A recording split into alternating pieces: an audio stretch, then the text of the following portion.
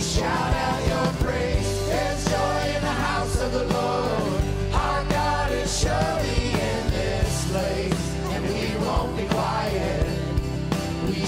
out your praise.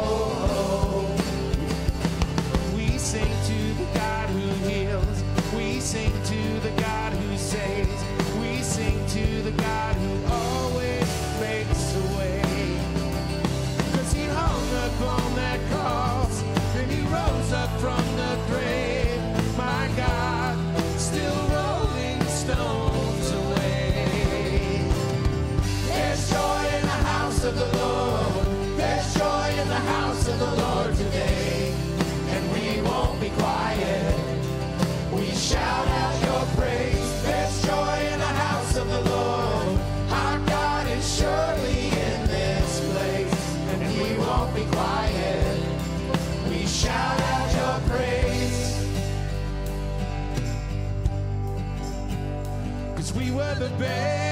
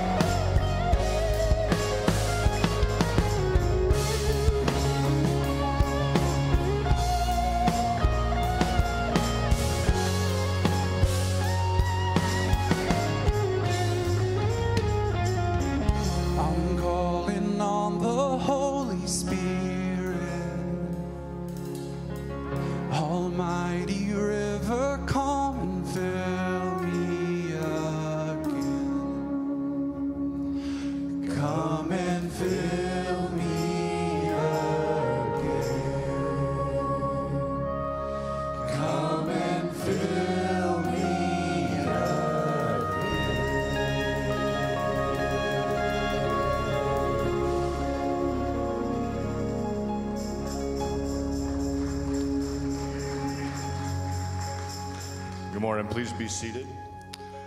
On your way in this morning, we were handing out cups for communion. If you would like to participate but did not receive a cup, please raise your hand, and our ushers will make sure that you get one.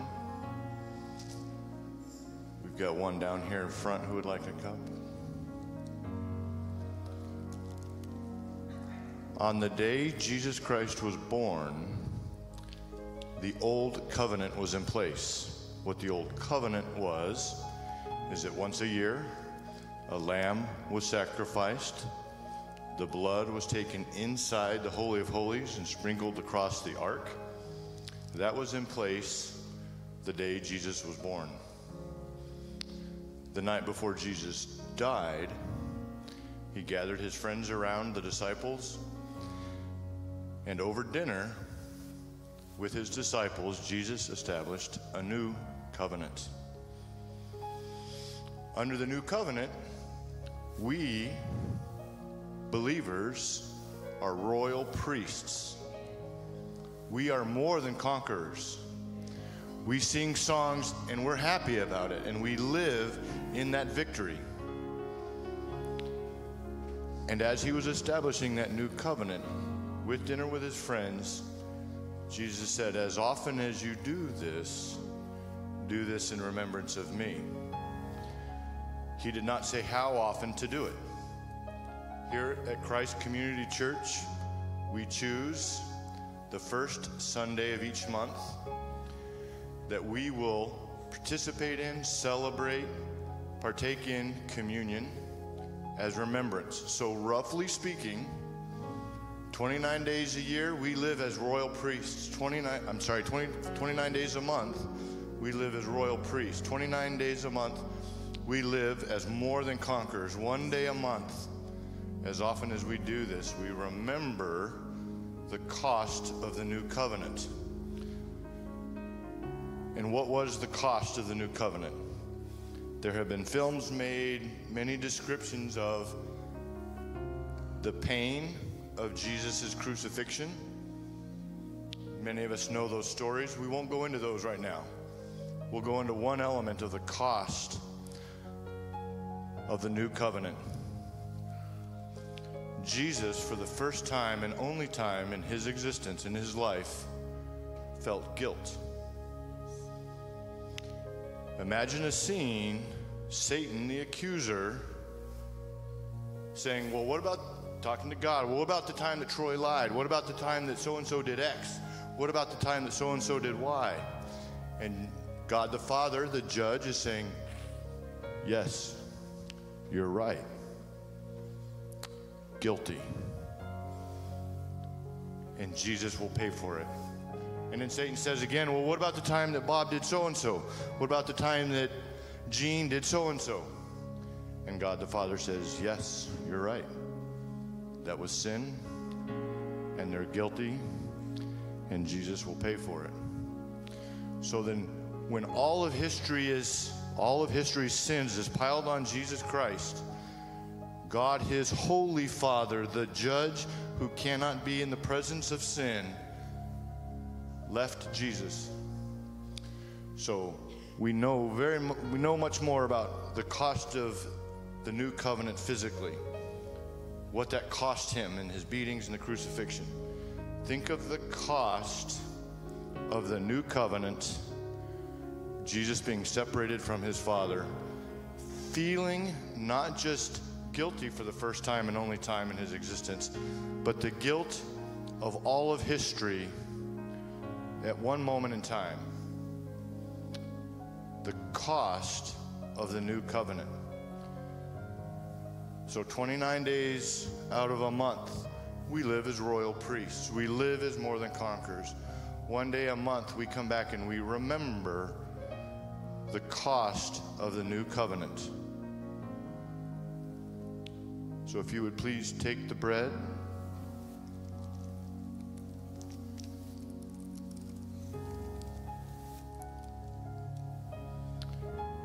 Matthew 26, 26.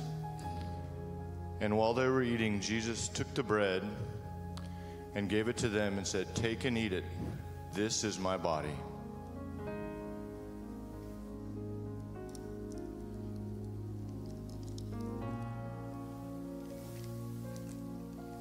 And then he took the cup and passed it around and said, Take and drink, all of you. This is the blood of the new covenant poured out for many for the forgiveness of sins.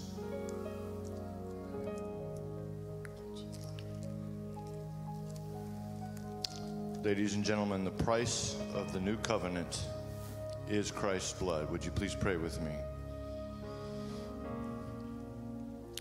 Dear Heavenly Father, we have sinned against you. We are born with sin in our hearts in a state that cannot even approach you. And yet somehow you loved us enough that you gave us your Son. And we thank you for sacrificing your Son so that we could be restored to you. May we glorify your Son, Jesus Christ, in whose name we pray. Amen. What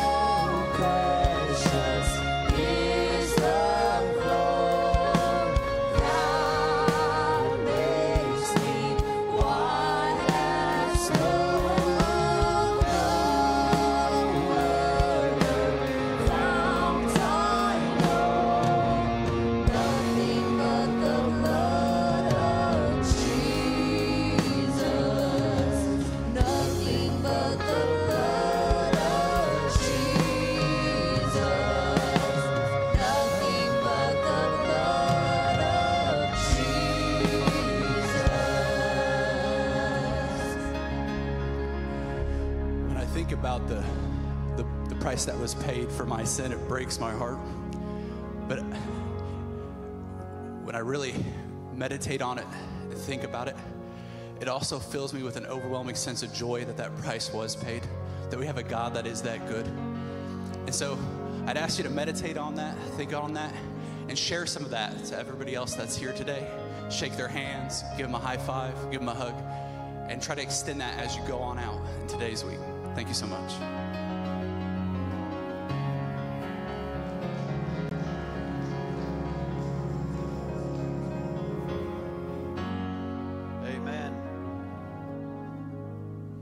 Hallelujah. The Lord is good, ain't he? Isn't he? ain't that slang, country slang, right? but God knows our hearts and our minds. My hope is built on nothing less than Jesus' blood and righteousness. It's not about me. It's not about us. It's all about him. It is all about him. It's always been about him and it will always be about him. It reminds me of the old song that says, There is a fountain filled with blood, drawn from Emmanuel's veins, and sinners plunged beneath the flood lose all their guilty stains. Amen. Thanks for the blood of Jesus Christ who washes away our sins. Amen. If the ushers will come today, we're going to receive today's tithes and offerings. This will also include any step by faith offering that you have for the building plan. If you have an offering for step of faith, this is for the building. You can include that in this offering also. You can go to the Welcome Center and use the app. You can go online to cccmurphy.com or simply text 84321. Let's bow our heads and pray. Heavenly Father, we thank you for this day. We pray a blessing upon the tithes and offerings that they be used to the furthering of the holy gospel of Christ, that all those around the world, to the four corners of the earth, will hear the good news of your love and mercy and grace, that they will pray and receive you as Savior and Lord Jesus Christ. We pray a blessing and an anointing upon Brother Richard McGill, Lord, today as he brings the word to us. Anoint him to speak to our hearts that we would hear and know and understand what you would have us to. Lord God, we thank you for your word. We thank you for your spirit and your love and mercy and grace. For it is by that that we know you and we are saved. We give you the glory and praise and honor for it. In your name, Jesus. Amen. With us this morning. If this is your first time with us, an extra special welcome. If you would, please fill out the Connect card in your bulletin. You can bring that to the welcome desk where we have a gift for you. We'd love to meet you and welcome you into our church family. Just a few quick announcements and reminders for you. Our midweek schedule for this week will remain the same. Uh, Chosen has our back to school splash blast today, so if you have any kids attending that, they do need to be in dark clothing, tops and bottoms, in order to get wet and participate. Then we are also in the middle of our 14 day fast, not quite the middle, but our prayer and sacrifice. Um, also, pastors reminding us to just take a break in the middle of the day and to be praying for our nation, praying for our youth, and praying for those uh, things that are deep upon your heart. Then also on August 24th is going to be our men's breakfast. So sign up for that is in the lobby. Men, we're moving it uh, this month to the last Saturday instead of the first Saturday. So we will be meeting on the 24th. Then just another reminder, Sight and Sound sign up that is due in September. So if you are considering going out to the Miracle of Christmas, please make sure that you do get signed up. And then one final reminder, we are starting our discipleship class forward this Sunday. Um, so if you are interested, next Sunday it starts at 9 a.m. and then you can attend the second service. But we love you. We're so glad that you're here with us this morning. If you would, please welcome Mr. McGill.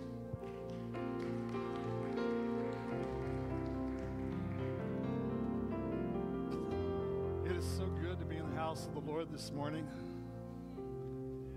You know, Troy was saying during communion, he was pointing out how something changed when Christ introduced the new covenant.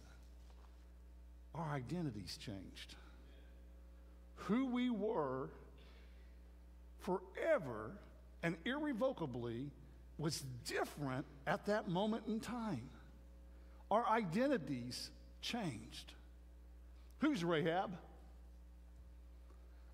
Oh, come on. You guys know who Rahab is. What's the Bible call her? Rahab the. You got it. Rahab the harlot. That was her identity. Did she always have that identity? No. Why does the Bible tag that onto her? Why does Paul, when he refers to her, refer to her as Rahab the harlot?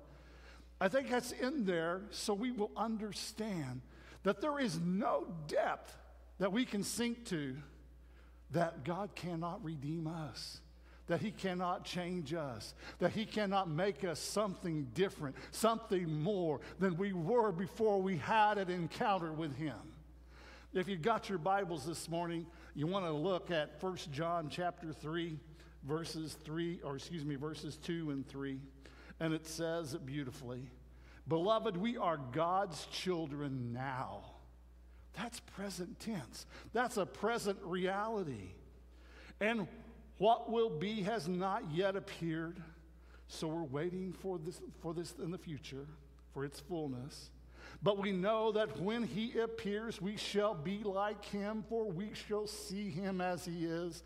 And everyone who thus hopes in him purifies, present tense, purifies himself as he is pure. What's it saying? It's saying we're somebody different. We are different. We are different because we have had an encounter with Christ. Now, this text that I, I picked this morning, I'm, I'm really going to go into Genesis. I'm going to talk about Genesis chapter 12, 25 through Genesis 32. I'm only going to read those, those excerpts. I'm not going to have them put it up on the screen this morning because there's just too much to cover. So if you got, I want to make notes. You want to make note that, that this covers Genesis chapter 25 through to chapter 32. And I'm going to talk about Jacob this morning. I'm going to talk about three things. I'm going to talk about Jacob's uh, uh, uh, upbringing, Jacob's sojourning, and Jacob's homecoming. Let's start with the upbringing. Now, Isaac was the father of Jacob. But Isaac was the son of whom? Abraham. So this goes back to the very foundations of, of the patriarchal structure that, that we have. So Isaac was 40 years old and he fell in love and he married Rebekah. Do you remember that story? Yes. And so they were married for over 20 years. And Rebekah had not been able to bear children. And she had given her handmaiden, she'd given her servant to Isaac to, to, to be able to provide children through that route. But she still yearned in her heart for children. And so Isaac one day prays and he asks God, give her children. And she conceives. And as she's carrying this baby, as she's going through experiencing this pregnancy, something begins to happen within her. There is jostling, and there is jumping, and there is movement, and there are things going on, and she thinks this can't be right. So she goes and she inquires of the Lord to find out what is happening inside of her. And then Genesis chapter 25, verse 23 says, The Lord said to her, Two nations are in your womb, and two peoples within you shall be divided. The one shall be stronger than the other, and the older shall serve the younger. Isaac was 60 years old when this happened. Esau was the firstborn, and as his name implies, his name means red. And as Esau was the firstborn, as he came out, they noticed that he was red and he was covered from head to toe with what? Do you remember? Hair. He was very, very hairy. And as he emerges, there grasping his heel was the hand of Jacob. And so, why did they name Jacob Jacob? Because Jacob, in its purest etymology, means God will protect. But in Hebrew, it sounds very much like heel grabber. And so here was a name to, to kind of depict him. What was his identity? His identity was Jacob. That's how people knew him as heel grabber, and he did not disappoint as he, as he grew older.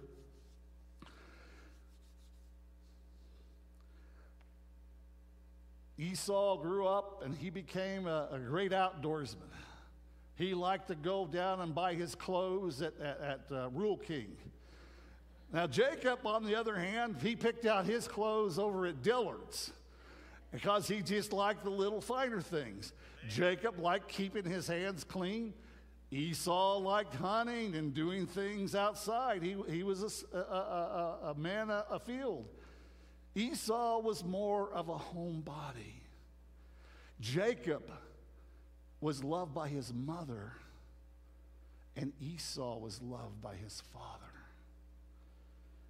Now, let me tell you something if you don't already know that. As parents, we need to be careful that we just don't pick out a favorite. That we find one, and this is my beloved child, and I love this child, and all the other kids are nuisances because this leads to trouble. This leads to discord. And in this family, this also led to discord. So, anyway, in the course of time, Jacob was out hunting and he came in and he was famished, and, and Esau had been preparing. I think he might have even just been waiting in expectation for this moment. We come to Genesis 25, or verse 31, and it says, Jacob says, Sell me your birthright now. And Esau says, I'm about to die. What use is my birthright to me? And Jacob said, Swear it to me now. So he swore it, and he sold to Jacob his birthright. He was hungry, he was famished. And Jacob took advantage of the weakness of the moment in order to leverage from his brother the birthright. What is the birthright? The birthright in this society gave the firstborn a double inheritance. So it meant whenever Isaac died that Esau would have inherited twice as much as Jacob. But Jacob, because of his opportunity here, has now purchased this birthright from his brother, so he will now inherit twice as much of, of Jacob's belongings. Sometime later, when Isaac had grown on and he could no longer see, he wanted to pass on the patriarchal blessing. What is that? The patriarchal blessing says you're the guy who is in charge of this family. You bear the name, you bear the responsibility for overseeing and basically being the authority over the rest of the siblings. So it came time. He didn't know how much longer he was going to live. He, he was getting up in years, and he decided that it was time to, to, to, to pass this blessing on. Now, now, Isaac lived 180 years. So he lived a good long time. I'm, I'm giving you some hints here for a question I'm going to ask you in a little bit, too. So he called Esau and he told him, he says, I want you to go hunting. I want you to bring back some of my favorite game, and I want you to prepare it the way I love it, because today I'm going to give you the blessing as my firstborn son. Well, Rebecca hears, hears this. And Rebecca, who favored whom? Jacob, decided that, hey, you know what? We can circumvent this deal. Here's what I want you to do, Jacob. I want you, instead of going out to the field and hunting, looking for wild game, I want you to go over here to the goat pen and bring me back two young goats. And we're going to slaughter those goats, and I will prepare them. I know how he likes, what the way he likes his food. I will prepare them. And while I'm doing that, I want you to go over to Esau's tent, and I want you to find his best clothing, his best raiment. I want you to put that on. Well, Jacob says, but he'll know it's not me. He, I'm not hairy like my brother. And so Rebecca has a plan for that. They took the goat skin and they placed goat skin on his neck and they placed goat skin on his arms and they placed goat skin on his hands. Have you ever felt the hair of a goat? Have you ever I mean, this guy must have been something. I mean, this, this, this, was a little bit gross, in my opinion. But anyway, here he was in his brother's clothes, disguised in a way that he could deceive his blind, elderly, dying father in order to get from his father the blessing that his father intended for his older brother. That's messed up. Would you not agree? That's messed up. Amen. Amen. So, where are we at? So, Rachel prepares this meal. She gives it to Jacob. She says, Take it in to, to your father. And so here we go Genesis 27, verses 18 through 27. And so he went into his father and he said, My father. And he said, Here I am. Who are you, my son? Jacob said to his father, I am Esau, your firstborn. That's a lie. I have done as you have told me. Now sit up and eat my game, that your soul may bless me. But Isaac said to his son, How is it that you have found it so quickly, my son? He answered, Because the Lord has granted me success. That's a lie. Then Isaac said to Jacob, Please come near me that I might feel you, my son, and know whether you really are my son Esau or not. So Jacob went near to Isaac, his father, who felt him and said, The voice is Jacob's, but the hands are the hands of Esau. And he did not recognize him because his hands were hairy, like his brother's Esau hands. So he blessed him and said, Are you really my son Esau? And he answered, I am. Then he said, this is, this is Isaac, bring it near me that I might eat some of my son's game and bless you. So he brought it to him and he ate. And he brought him wine and he drank. And his father, Isaac, said to him, Come near me and kiss me, my son. So he came near him and kissed him.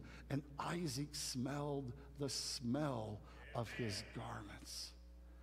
Oh, the fragrance of his brother was on his clothes.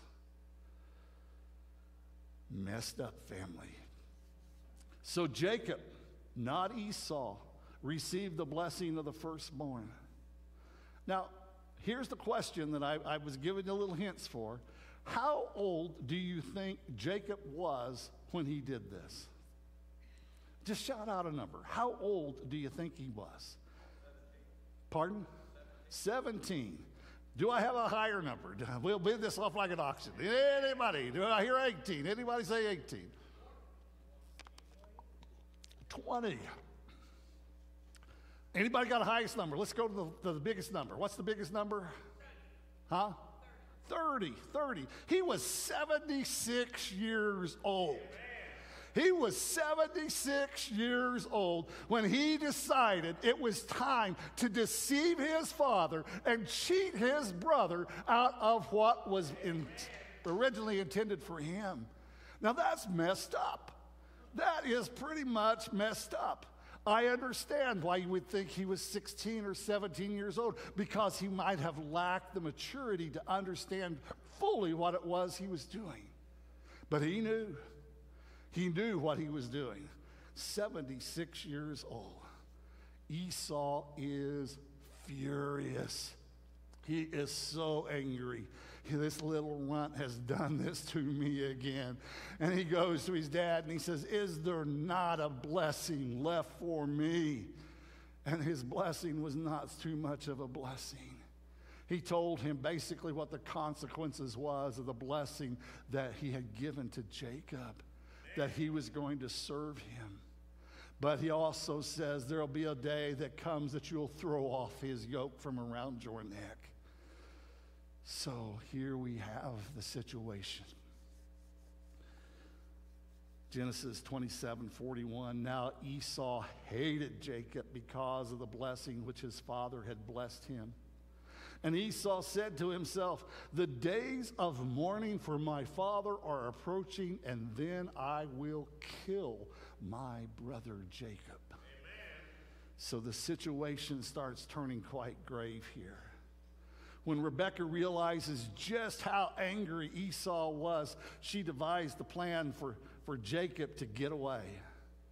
Rebecca goes in and convinces Isaac that Jacob doesn't need to, to marry a Hittite girl. He, do, he doesn't need to marry one of the local girls.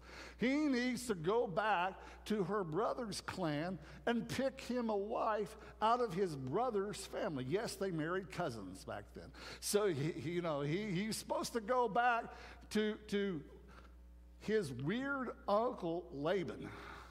Now, we all have weird uncles, do we not? I mean, we have, most of us have strange uncles in, in our family, un, these unusual characters. And Laban, I think, as far as weird uncles go, might just take the cake. So, where am I at? I am transferring from his raising to his sojourning. He heads out on his way to his to weird Uncle Laban's house. And on the way, he's, he, he's sleeping. He, he, he camps for the night. And something wonderful happens. Something that I think uh, that there, an encounter that would make a difference in your or my life. And it's interesting how he responds to it. Genesis chapter 28, verses 11 through 15 says, When he reached a certain place, he stopped for the night because the sun had set. Taking one of the stones there, he put it under his head and he lay down to sleep. He had a dream in which he saw a stairway resting on the earth with its top reaching to heaven. And the angels of God were ascending and descending on it. There above it stood the Lord. And he said, I am the Lord, the God of your father Abraham, our grandfather Abraham, and, and the God of Isaac. I will give you your descendants the land on which you are lying. Your descendants will be like the dust of the earth, and you will spread out to the west and to the east, to the north and to the south. All peoples on earth will be blessed through you and your offspring. I am with you, will watch over you wherever you go, and I will bring you back to this land. I will not leave you until I have done what I have promised you. Have you heard that before? Have you heard it? Who, how, when, where did you hear it? Abraham. Abraham. And it was also given to, to Isaac. And now it's being conveyed to Jacob. Oh, this is a moment of significance. But you know, we can't easily shake off our identity. And Jacob, in this moment, he recognizes that he is in the very presence of God, that God is in this place. So he rises up and he names the place Bethel, Bethel because he's saying, God is here. He takes the stone and he raises the stone on which he slept. He raises it up vertically. He anoints it with oil because he wants to show reverence to the fact that he's there in the presence of God. And then he makes this vow. And I want you to listen closely to the words of the vow. Then Jacob made a vow. This is Genesis 28, verses 20 through 22. Then Jacob made a vow saying, If God will be with me and will keep me in this way I go, and will give me bread to eat and clothing to wear, so that I come again to my father's house in peace. Then the Lord, then, then the Lord shall be my God. And this stone which I have set up for a pillar shall be God's house. All of you that, oh, excuse me, all and of all that you give me, I will give a full tenth to you. What's he saying? He's saying, You're not my God yet. You may have been grandpa's God, you may have been dad's God, but you're really not my God. But I'm willing to give you an addition here. I'm willing to give you a trial run. If, if you do this and this and this and that, then I will give you a tip. I will give you a tenth. Is that not what he's saying? He has not come to the realization of who he is or really who he is dealing with. Jacob desires success. He desires prosperity. He desires recognition. He wants to be the leader of his family. He wants to find favor and the blessing of God on his life. But he chooses to stick with the same old strategy of scheming, conniving, lying, deceiving, and manipulation. We need to check our lives on occasion. We need to check the language that we use when we're addressing God. Do we see him as God or do we see him as a means to an end? When Jacob finally arises or arrives at, at that, that crazy Uncle Laban's house, he soon discovers that this whole cheating, scheming, conniving, deceiving, lying, did I already say lying? Lying pathway is not something new to the family. Old Laban, who's done this for a few years himself, is pretty good at it. And so it doesn't take long for Jacob to discover that the deceiver can be deceived, that the cheater can be cheated, that the conniver can be out connived, if that's, if that's such a thing. Genesis 29. Now, I'm going to jump around here a little bit, so, so I'm not going to give you a particular verse. Then Laban says to Jacob, Because you are my kinsman, you should therefore, ser- you should, should you, excuse me, should you therefore serve me for nothing? So he's, he's saying, Hey, you know, I've been ha- helping out around here, but, but, but maybe it's time that you drew a little bit of a salary for what you're doing. Sounds good, right? I'm going to pay you. Tell me, what shall your wages be? Now we get into the thick of it. Now, Laban had two daughters. The name of the older was Leah, and the name of the younger was Rachel. Leah's eyes were weak, but Rachel was beautiful in form and appearance. That's a dangerous combination. Jacob loved Rachel, and he said, I will serve you seven years for your youngest daughter, Rachel. Laban said, It is better that I give her to you than I should give her to another man. So stay with me. Jacob served seven years for Rachel, and they seemed to him but a few days because of the love he had for her. Then Jacob said to Laban, Give me my wife, that I may go into her, for my time is completed. It's time to get married. He's been there seven years. So Laban gathered together all the people of the place, and he made a feast. But in the evening, he took his daughter, Leah, and brought her to Jacob. And when he went into her, or excuse me, and he went into her, and in the morning, behold, it was Leah. And Jacob said to Laban, What is this you have done to me? Did I not serve you for Rachel? Why then have you deceived me? Laban said, It is not so done in our country to give the younger before the older. Hmm. Does that sound familiar? Complete the week of this one, that's the honeymoon week, and we will give you the other one also in return for serving another seven years. Jacob did so. He completed the week. Laban gave him his daughter Rachel to be his wife. And so Jacob went into Rachel also, and he loved Rachel more than Leah, and he served Laban for another seven years. He extended his contract. There's familiar tones here. There's deceit taking place in a tent. There's deceit taking place involving someone who's having difficulty seeing. Does it not sound familiar? What do you think old Jacob thought when he found out that he had been outmaneuvered on this situation?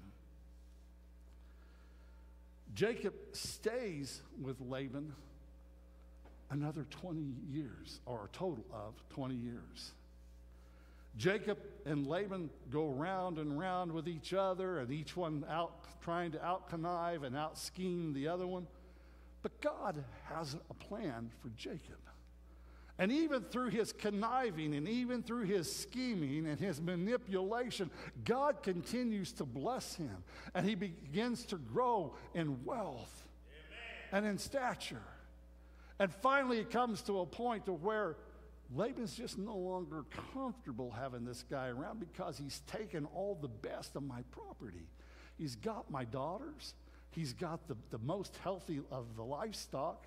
He's got large numbers of animals and camels and donkeys and servants and children, and all these things are, are happening and going on. And he just decides this isn't good.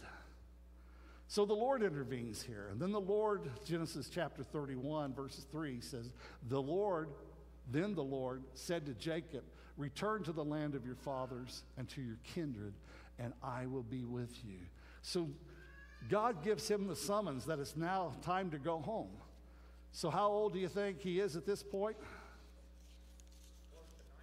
97 years old. 97 years old.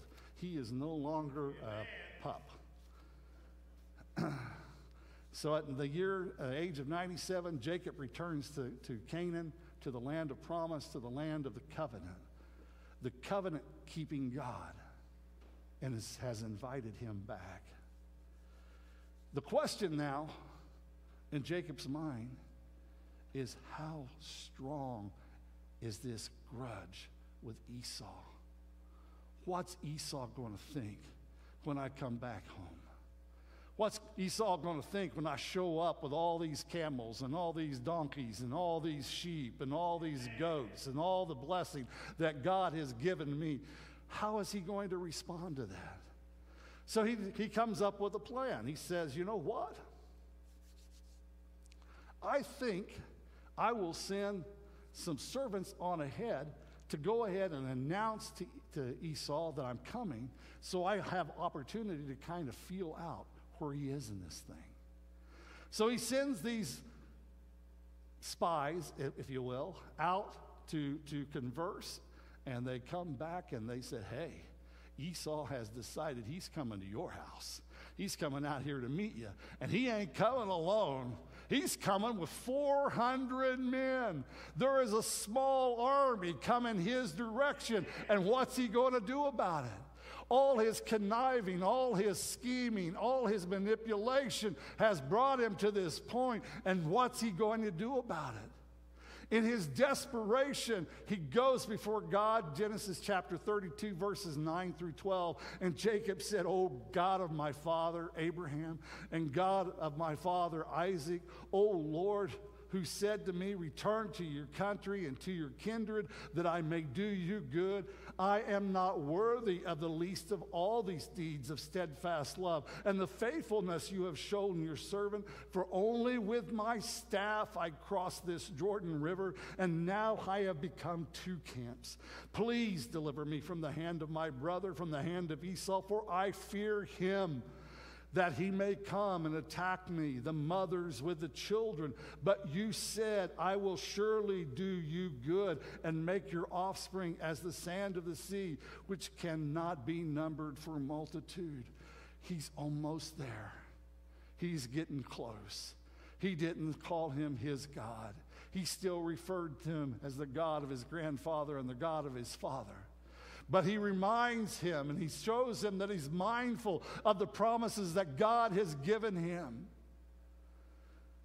And so he comes up with a plan. Oh, here's what I'm going to do. I'm going to pacify my brother. I'm, I'm, going to send these gifts over to him. I'm going to send the animal and the livestock over. This was part of a good idea to pacify, but it was also part of a scheme to slow him down. Because when you have animals, if you have cattle and you have calves, you can only travel as fast as the calves can go. So he's slowing him down. And then he takes all of his possessions and he sends them across. And then he takes the servants and he takes his wives and he takes his children and he sends them across. And he stays on the other side of the river so that there is a barrier between he and his brother. And then something amazing happens. At night, he discovers there's a stranger in the camp. There is a stranger in the camp. There is someone unaccounted for in the camp. And he begins to wrestle and struggle. Now, let me tell you something. He is 97 years old. And he wrestles and he struggles all night long. How many here have been wrestlers?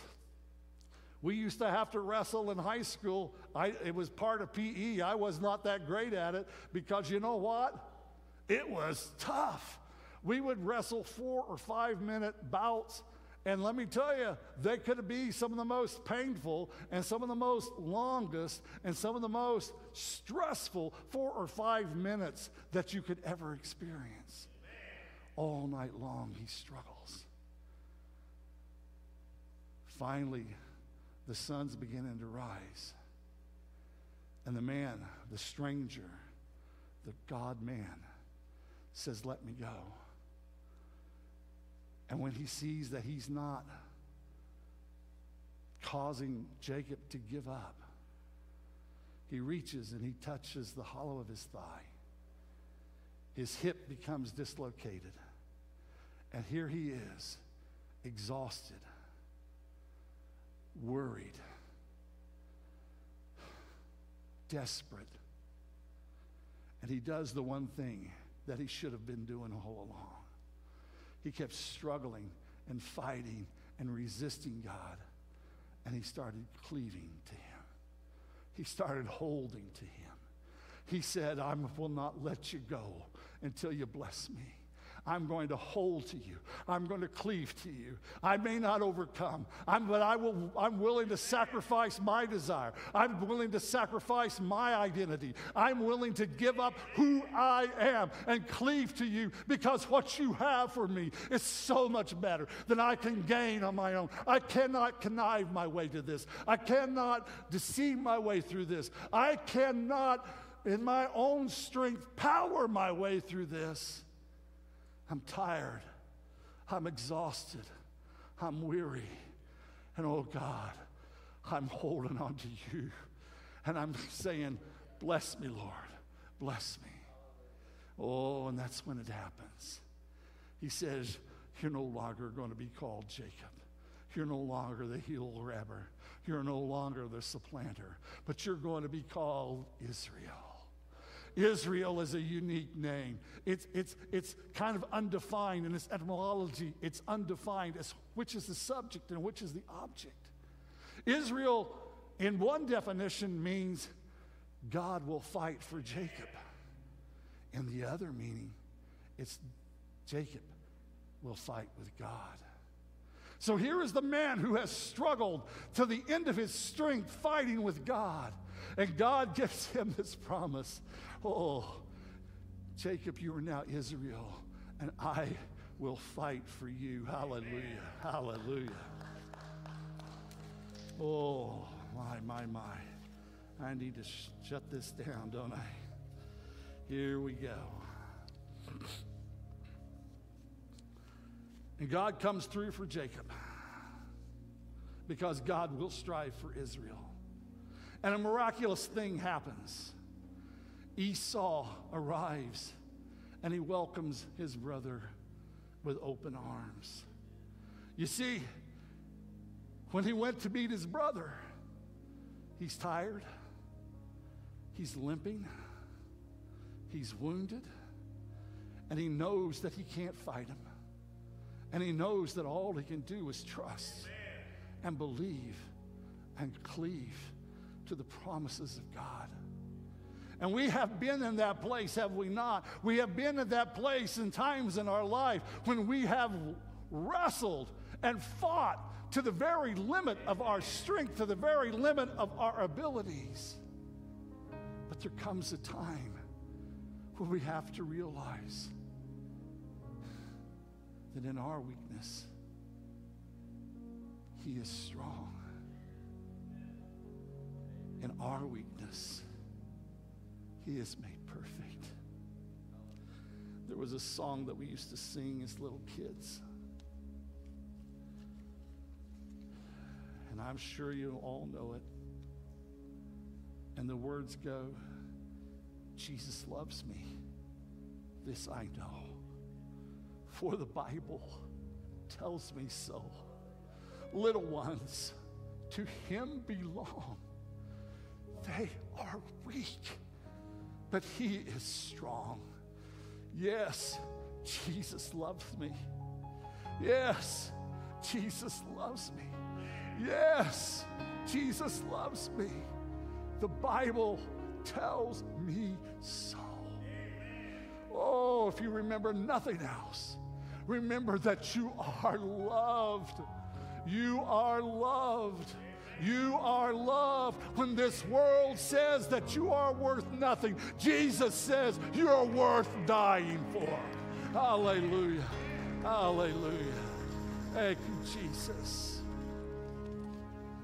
Oh, Heavenly Father, we thank you for this day and we thank you for your blessings and we thank you for your word. Help us, God, to understand our identity in you. Help us, Lord, to understand that it's not by our strength, it's not by our might, but it's through your spirit, saith the Lord. Guide us, direct us, use us, grow us, nurture us as your children, and we will cleave to you, God. We will hold to you. We will be mindful of your promises. And oh Lord, we find our new identity in you. Thank you, Jesus. And in your precious name we pray. Amen. If there are any that are in need of prayer this morning, please come forward. We'll pray for you. Otherwise, You're adjourned.